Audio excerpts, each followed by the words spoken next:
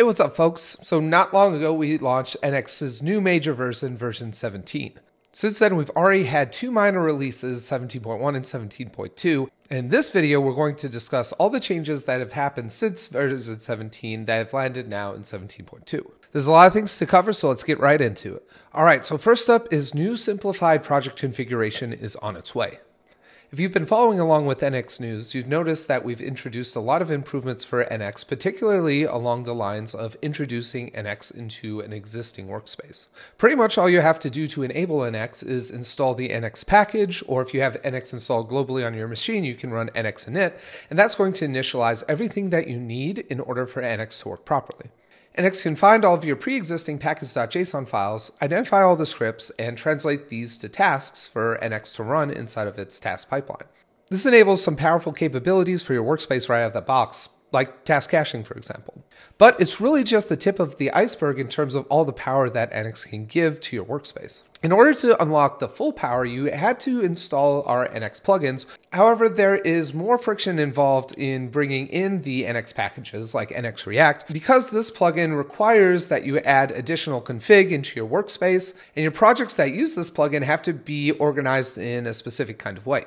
So what we saw was the sort of divide between what we called NX integrated workspaces and NX package-based workspaces, where package-based is you've pretty much installed just the NX core package and integrated, you're not only using the core package, you're also using all of our plugins. This is something that we want to change drastically in 2024. And we've got a huge release planned in February, so keep your eyes peeled for that. But the goals here is number one, we're going to go almost completely configuration less while still giving you access to override defaults when you need to. And number two, we're going to make it much more easy to drop in our NX plugins to any kind of workspace. And hopefully, this will remove the gap between integrated and package based workspaces completely. We're super excited about this, so keep your eyes peeled for the launch. As far as 17.2 goes, you can see that a lot of the work that we've done to make this possible has actually landed here by 17.2. However, we're hiding this behind a feature flag for now so that we can release this all next month when it's ready. All right, so the next section we really want to highlight in this video is staring us in the face on the front page of nx.dev. The whole front page got a huge facelift here. We'll cover that more in another section. But for right now, I really want to focus on this line right here, built with Rust for speed and TypeScript for extensibility. Now, from the beginning, NX was built with TypeScript, and we have generally been really happy with that decision. TypeScript has massive adoption, which makes it a great candidate for making a tool that a lot of devs want to use. However, there's one place that TypeScript kind of falls down, and that's in speed. So over the last year, what we've been doing is converting a lot of NX's core, in particular the computationally expensive pieces of that core. We've been converting those to Rust. And this has been really successful. Here's a video that Victor posted a while back for parsing TypeScript imports to build a project graph. And we can see here that Rust is actually two times faster in terms of being able to analyze the TypeScript dependencies. So that's really cool. And in terms of 17.2, what we've done is we've landed a task cacher that has been converted to Rust. So if you're watching this and you want to take advantage of the new speed increase, all you need to do is upgrade NX to 17.2. NX is going to start using Rust for the task cacher, and you're going to get a little bit faster without you having to change anything. So, great success. All right, so next up is a series of enhancements to Module Federation. Now, if you're not familiar with Module Federation, Module Federation is a feature of Webpack which allows you to deploy and consume modules independently. What this means is you can separate out a front end project into separate modules and then have a host application which consumes these modules, and you can deploy each one of those modules independently of the others. As you can imagine, this is a great fit for monorepos where the whole concept is that you're going to host several projects inside of one repository. This is very similar to what we'd be doing with Module Federation in terms of separating out modules. So there's an obvious affinity between NX Workspaces and Module Federation. And prior to these updates, NX already had ways of creating a starter host application as well as remote applications for that host to consume. However, what we've landed in NX 17.2 is more enhancements on top of that, including when you're working in development mode. What we saw was when you were watching a lot of these remotes at the same time, your computer would usually tend to slow down because you're hosting so many web servers on your one machine. One of the enhancements we've done here is to take all of your remotes and host them onto one web server while you're in development mode, while still allowing you to deploy them anywhere you want when it's time to deploy. Hopefully, when you're developing with Module Federation, this will make your computer not sound like it's taking off into space.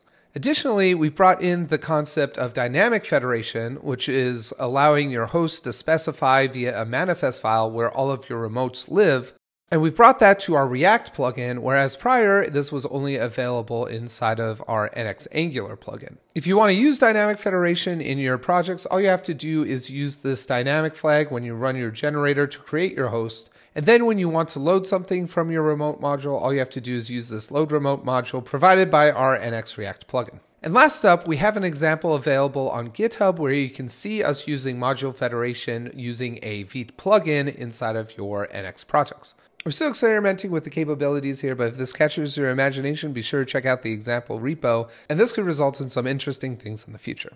Up next is a new programmatic API for our NX release command. We've released a new command to the NX CLI called NX release that became available last year. Now, if you want to use NX release via the CLI, we have these subcommands NX release version, which will let you version all of your projects, NX release changelog, which will let you make a changelog of your projects, and then NX release publish, which is going to publish all of your projects. However, now we have a programmatic API where you can import each one of these as a function from NX release. Here we see a very simple implementation of this where we're calling first release version and then release changelog and then release publish in sequence inside of a single script. This way, instead of using the NX CLI to individually call three different release subcommands, we can instead use the command line to use node to run this one single script. And that should do all three of those things via one command. So while this is a very specific example to accommodate specifically a minor release, you can obviously do a lot of things with this new programmatic API in terms of maybe creating your own scripts with your own options that you can then pass through to the core functions here provided by NX Release. And this way you can craft your own release script that can do pretty much anything you want. All right, so up next is Angular. So Angular has been having a huge renaissance lately. We've got a new home here for Angular. This is angular.dev, and it features their new logo and branding here. And now this release coincided with Angular Major version 17. So as of NX 17.1, NX has supported this new major version of Angular. If you want to migrate any existing NX Angular project to version 17, all you have to do is run the NX migrate command to the latest NX version, and you should be able to upgrade all of your Angular projects to the latest Angular major version, now Angular 17. Also, specifically for Angular, if you want to migrate to the latest version of NX, but you're not ready to go to the most recent version of Angular yet, you can use the dash dash interactive flag when using the NX migrate command. As we can see here, this is what you're going to see in your terminal when you run this. You'll be prompted as to whether you want to upgrade TypeScript, as to whether you want to upgrade Angular, and based on your responses here, NX is going to only migrate the pieces that you want. This is particularly helpful if you have a very large application, you're not really ready to change any of your runtime dependencies. You just want to upgrade the core of NX without actually changing the projects that you're working on to use actual runtime dependencies. Now, next up, as I alluded to earlier, we gave the nx.dev homepage a fresh new coat of paint. Our main tagline now is Smart Mono Repos and Fast CI. As we scroll down here, we can see that we have a huge focus now on our CI, including our CI capabilities like NX Replay, NX Agents, and NX Workflows. Really, one of the cool things about NX is if you really buy into NX, you're pretty much building a task pipeline that you can easily pass into any CI system and just run your CI there without really having to think about specifically what commands you need to run in terms of running your CI. NX already has generators for you to be able to run a simple command to take your current NX workspace and have it ready to go for most of the more popular CI providers like Circle CI and GitHub Actions. And with NX agents, we're entering into this very same CI space, but in a way that can be even more tailored to your workspace. And one of the coolest things about this is as your workspace expands, your CI is really just going to expand right along with it. And NX already has the tools to be able to see as you're adding new projects where those projects fit in terms of your workspace's project graph,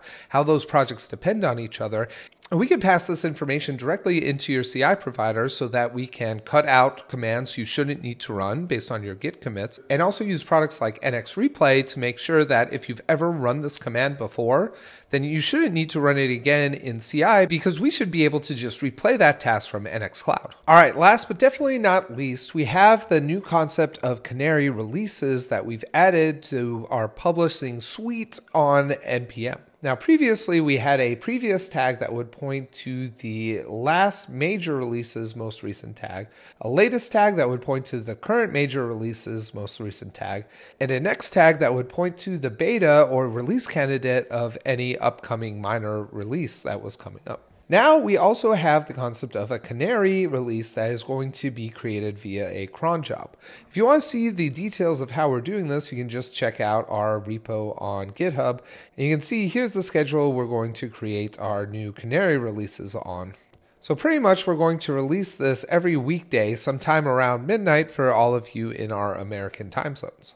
You can go ahead and install the Canary version of NX now if you want, and you can use this to preview any new X features that haven't been officially released yet.